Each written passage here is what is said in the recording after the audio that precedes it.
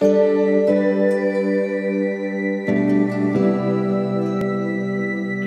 Hello, welcome back to the show. Uh, we did last show like five days ago, more or less, right? I think so. We did it Yeah. five days Just- ago. Yeah. Uh, well, the fact is that we both are gonna go on trips soon. I'm gonna go It's holidays time. tomorrow. I'm gonna be for a week in Turkey, which is gonna be a huge challenge itself. Keep going the challenge while being in an organized Do you think it's going to be that hard to be in Turkey and in holidays and do that? I'm gonna be with my family and with my sister all the time. You're gonna need as well to do the walks. It's going to be so hard. Yeah, the walks. Where am I? Where am I gonna do the walks? I'm gonna walk around in my house. You can, you can, there is forest. When I went there, it was nice There's forest. little bit hill. Yeah, but it's going to be July in Italy. Yeah. Well, Tough life, Tough but life, yeah. we will do it. Enlightenment is what it takes. a lot we of do all for hard work. I actually do it for magic. Not for fun. We do it for fun. Um. Okay. So after the five days, show, yeah. yeah, today is the third show. Yeah. And okay, let's gonna speak how the challenge is going. How is the challenge going for you, Matilda? So my name changed depending on the day. Depending on the Uh, second. and I like it. Uh, it's going very well. Finally, the meditation is improving as well. I have a lot of insights coming to me, and that makes me feel very good right now. And um, I like the fact that because I'm doing it consistently, the meditation is easier and easier. Um, so yeah, when I started, I saw an improvement first in the walk, and now also the meditation is going up. We will see how the cycles go up and down during the month, but for the moment, it's a very positive outcome. I have to say. Yeah, you? For me, I say more or less the same. Like last post that I did yesterday night, well, night, morning, whatever, what I am. And I pointed out like the meditation is getting very easy to tap into, even if the head, if my mind can be full of thoughts or random images don't understand they are there.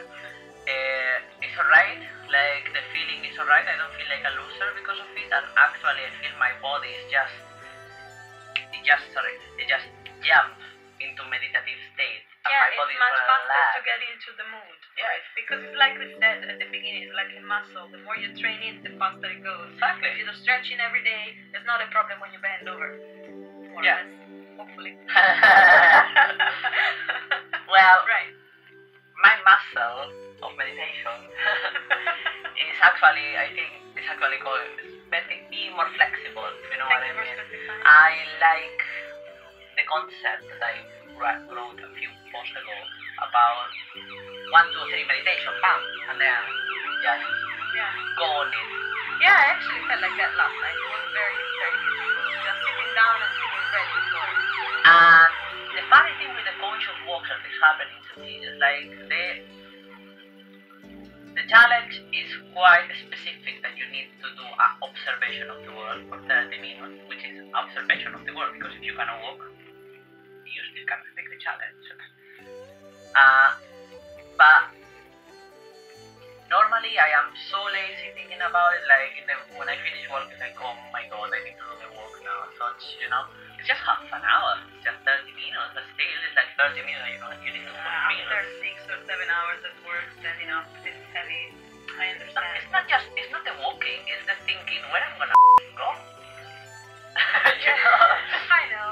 That's why I decided to do this week, since we did the show last time. I decided to go the same path for one week without having to think where I'm going, but Yeah. just observing it. So I, I've been going to Carlton Hill. I kept going there for every single night, more or less like the touring, maybe going first on the left side and then on the right hand side of the hill, but doing always the same, more or less path. And seeing how it would change every different day, depending on my mood, depending on the weather. The weather is such an impact on any kind of observation item. Yeah, on people normally, I suppose, but yeah, that's another thing to keep into account. So last night it was foggy and it was so beautiful and majestic to look at everything in the Yeah, the photo, the photo of last post that you did is great. Yeah, the place is great. Yeah. So yeah, that's another thing, another tool. When you do a walk, you don't know where to go.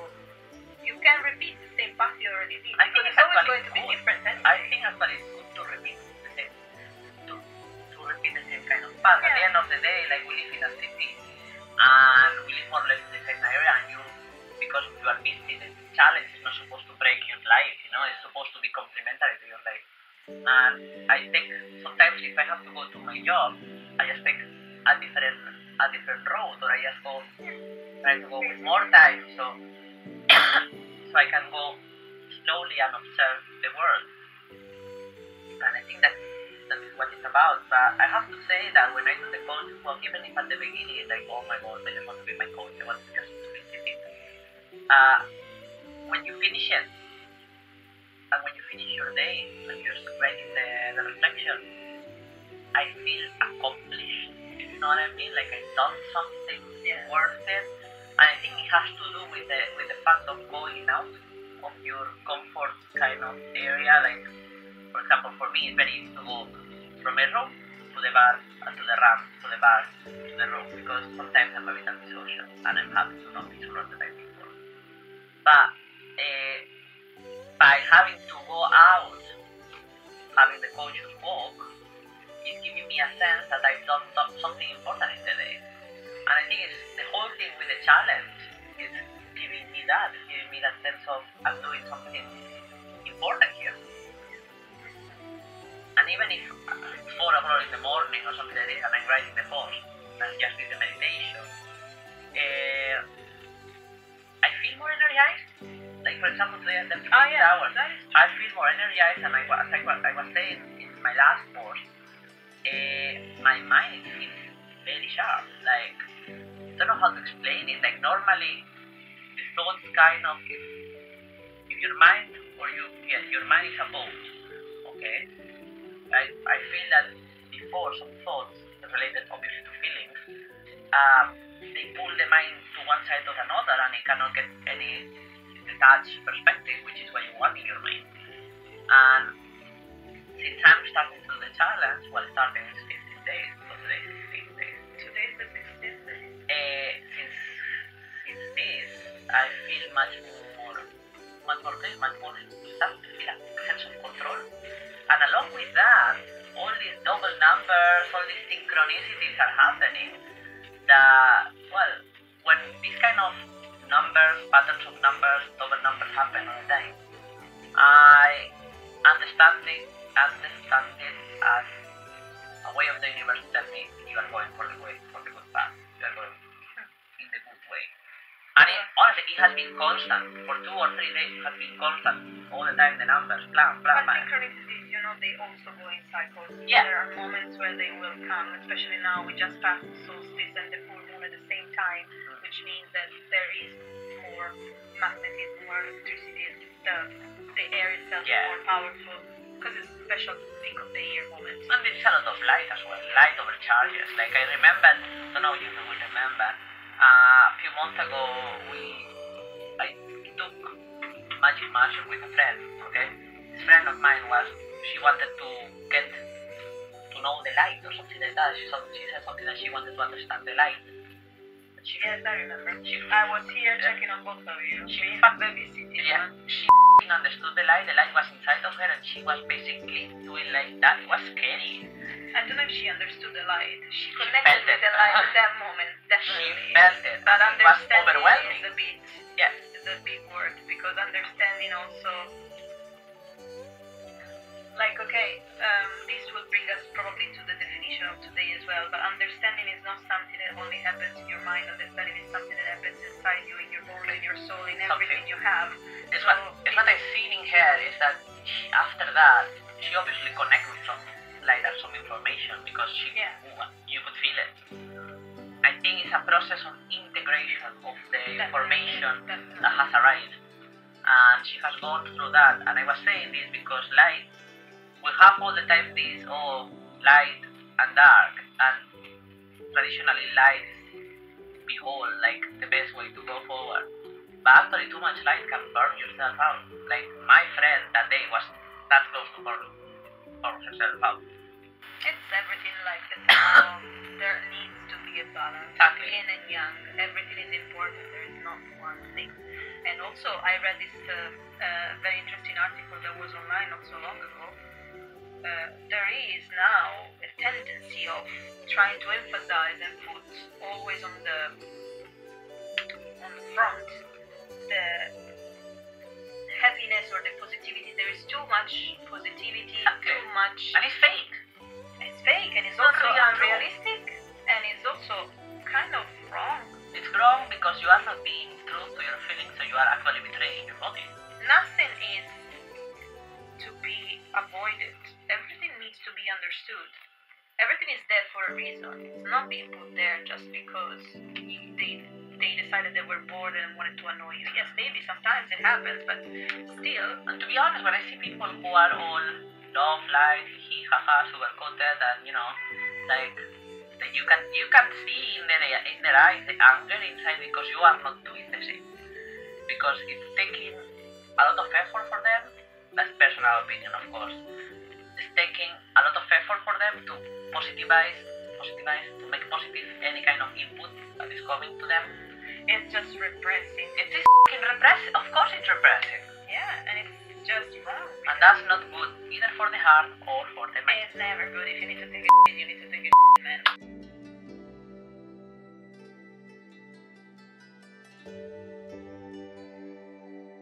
We are gonna remember definitions that we are making is just our way to see the, the, the world that we are defi- introduction defining. to the way we see it because we want to put all Yeah, we the want opinions together and we want get to- to a proper exactly. We want to put the language out there. We want Yeah. to uh, have a look to the language in order to be able to understand what we are talking about. Because I have the feeling that sometimes the like for example the word energy that we are gonna def- define in the future, it's something that is given for granted, but I feel that some, sometimes just speak superficially about and we don't really know what we are talking about. yeah. So We're today trying to be more conscious of the words we are using. today's word defining is the word mind. What is mind for you? What is mine for me? What is mine for me? Um, mine is that quiet. Somebody's going to knock the door now. Quiet, small place. Um, that. Okay, it's like a, a lake, a quiet place where um, Keep talking, ignore him. I, I know I, I'm just trying to make a. I told you it was just a hard definition for me, this one. Um, okay, so to explain what mind is, I have to go by opposite again. I always, I've always been uh, overwhelmed by feelings all my life. I'm a very emotional person. So my emotions tend to be fast, fast, fast, sometimes faster than my thoughts. No, maybe not. Thoughts are faster, but they don't stick. While emotions are so intense that they tend to cover up my thoughts more most of the time. Which means that my mind goes kind of in the background instead of being the leading part of all of my process, of my decisions. Sometimes the mind needs to do more to readapt to whatever is the input that is coming from outside, than leading me towards the kind of effect that I want to have. Which I assume is a bit the problem that we all have. But for some people it's easier, for some people it's harder, for me it's definitely harder. That's generally speaking the first thing that comes to my head when you ask me about mind. Mind, like the definition that you were saying, I think is quite alright. Like mind is a tool. Mind is a tool for the human experience, and as well is the tool that connects you with what you really are, which is a mind expression, expression of a bigger mind. But from the point of view of human body, um, as you were saying, the mind is like a this crystal clear pond, very flat waters, but that's the purest nature that nothing, it never happened normally. And then this crystal water, crystal clear water, is affected by all the feelings, which makes the water to Like kind of boiling. boil a bit, and then by all other thoughts and opinions, the thoughts are like waves. Yeah. Waves, like if the thoughts can be like as well Well, waves, the stones are as well feelings that come from outside, you know what I mean? All the things that you can come to the pond to create a movement in the water, yeah. that is what affects the mind. Yes. And the mind is basically a huge receptor. You have to think that the mind, uh, the mind receives all the inputs and outputs of the psyche, and that that, takes feelings, takes uh, impressions, that takes as well uh, impressions from outside, which can be like you've been talking with a friend and you had a nice conversation that affects your mind. If you had a bad conversation that affects your mind. If you had a alright conversation but you felt that it was something more underneath, that affects your mind. Your mind receives everything, rather you know it or not. It's a big receiver, and as well, it's a creative. It's a creative uh, tool because even if the pool or the pond is flat and bubbling, all pond has fishes as well. All pond have life because it's water. So the nature of the mind, it's create as well. That's its maximum. Like a mind won't have any kind of sense if it won't be creating. Because that's what the mind is for, a part of dealing with the world, dealing with the human body, and basically being the spectator of the human experience. The potential of the mind, the highest potential, is to create. And, and yeah, like that's the mind for me is that it's a huge receptor and then inside of the mind there is a lot of parts because obviously you have the, the receptor and then you got the decider which will be represented by mercury and it's this process of where of you analyze so yeah the mind i would say it's a big tool with a lot of plugins inside for you mind is a big unfolder of reality Unfolder of reality. I like that. Connection with Mercury then? Because I like it and it makes sense. Uh, so Mercury would be what pushes you towards the creation then? Because Mercury was, mythologically speaking, messenger of the gods, protector of travelers and trade and um, aircrafts and things like this. I think Mercury is basically an aspect that makes you search for knowledge. Without knowledge, you cannot really create something worth it. Right. And that's why Mercury is in the equation. Uh, and the mind is very much related to Mercury and other aspects, of course. Fair enough. I don't, I won't relate Mercury to creation because Mercury is more of discerning what is already created. So, more than creation is, I meant the creative part of the mind. But that then would mean a completely different thing. So, what you mean is that Analyzer, is Mercury the is analyzer and the, also the the pond of knowledge, the one that you acquire and the one that you Exactly. learn and that you build up. As bigger is your knowledge, bigger is your thought, Okay, which makes sense. that would make sense. It's So that would be mind. I think so, yeah. I think it's a I think it's an alright definition if we in a very metaphorical way, which is the best way to illustrate the mind because Yeah. at the end of the day, like the mind is calm, it's just calmness.